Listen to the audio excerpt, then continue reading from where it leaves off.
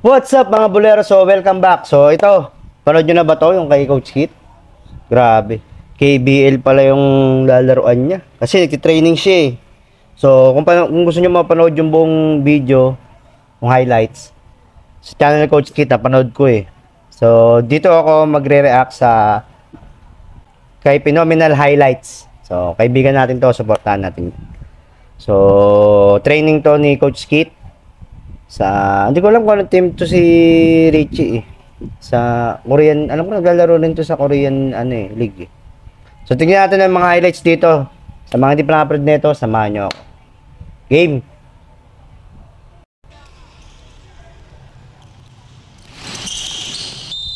Iba yung Bagong lahat. Punta ka na ba? ang laki ni ano eh, ni Richie Rivero eh. Tapos ganun yung laro, point guard din. Oh, magandang experience to kay Coach Kit. Grabe. Kala ko PBA eh. Pero mas maganda to international kasi iba-ibang lahi yung mga kalaro niya. Mas maraming mahusay doon sa KBL eh. Kaya, tsaka iba-iba pag international.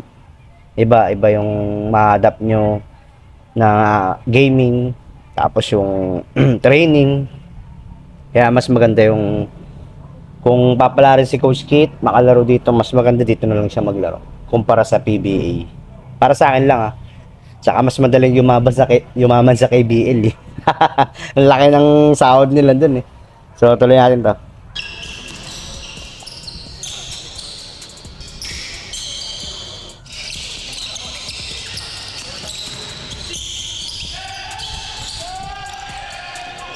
Live. Grabe oh. Iba talaga. Iba talaga pagka mataas na yung nalaruan eh. Si Richie Rivero eh. Talagang gulang na eh. Tinutukuran niya lang si Coach Kit. Kasi syempre eh, had- height advantage eh. Lamang na lamang siya eh. Experience, lamang na rin siya.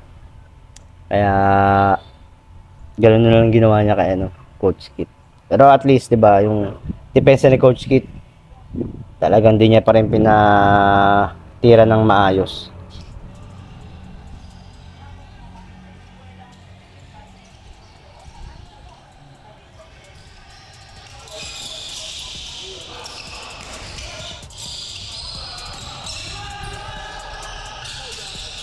Hoy! Blay. Practice ni Coach Kit yun. Nice pass. So, ayun yung dapat yung ano ni Coach Kit. Ah, improve niya pa yon shooting. Kasi nawawala na yung shooting niya eh. Kaya yung napanood ko yung huling reaction ko sa laban nila, parang tumatamlay na yung karera ni Coach Kit. Kasi nga, hindi rin nabibigyan ng playing time eh. Playing time, tingin ko problema kay Coach Kit. Kaya dapat pag mga ganyan rookie, may kaya naman sumabay, bigyan nyo ng bate, bigyan nyo ng bigyan ng playing time. Dapat binibigyan na ng playing time kahit na nag-error. Normal yun eh. Kasama sa process yun eh. Kasamang pag, mapagdaanan yun para mas gumaling. So, sayang. Kaya dapat bigyan ng tamang oras. Huli! Nice pass! Uy! Lang nga din ako. Black. Oh! So, mapalaban din si Richie Rivero dito. Ang lalaki din yung kalaban niya. eh. Tsaka mahuhusay na rin tong mga to. Sanay na rin to sa mga physical game. Tsaka sa mga gantong laro. Yung, kumbaga, yung may sistema. Mga pro-pro, mga ganyan, semi-pro na laruan.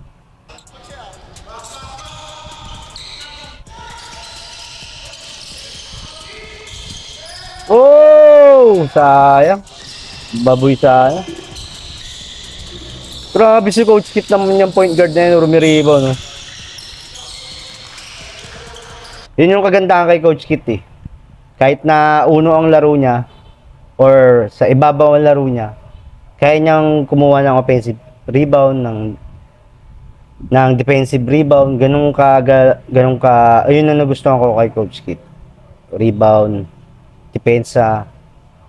Siguro ang masasabi ko na lang yung yung shooting sa 3 points.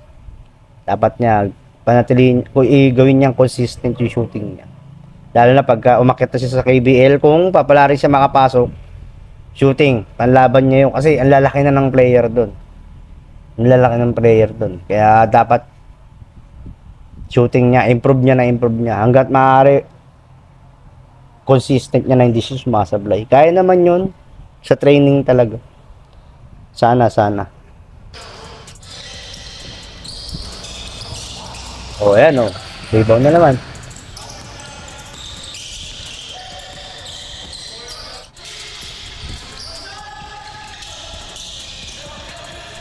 Nice pass. Nice, hindi nakita. Ayan oh, tama oh. May rebound talaga.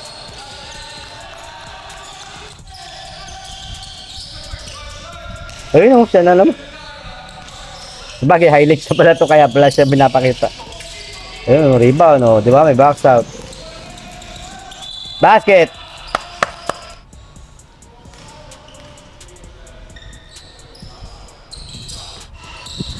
So, yung mga ganong fast break, ang napapanood ko naman sa KBL, di ba Asian din mga naglalaro, more on Korean yung ano, layer. Kaya niyang ano yun, kaya niya pasayawin yun. Mas magaling kasi tayo sa mga galaw eh. Pansin ko yun, eh, sa Pinoy kumpara sa Asian na ibang lahi. Gus- Sila more, more on basic sila eh. Shooting, set screen, set shot, mga ganun eh. Tayo medyo, ano, ano tayo, medyo fancy. Pero marami rin kasing galaw kaya maganda tingnan. So tuloy natin. Nice pass!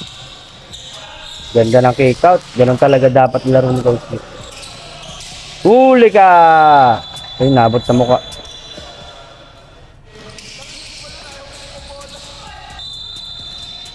Langanin yun eh.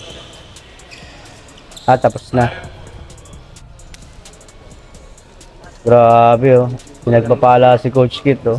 International lalaroan na. Kala ko pa pawala yung ningning ng laro niya, pabagsak eh. Wala, meron pala siyang tinatagong ano. May ganito. So, abangan na natin. Sana makuha si Coach Kit. Makita natin maglaro sa Korean, mas magandang liga yun.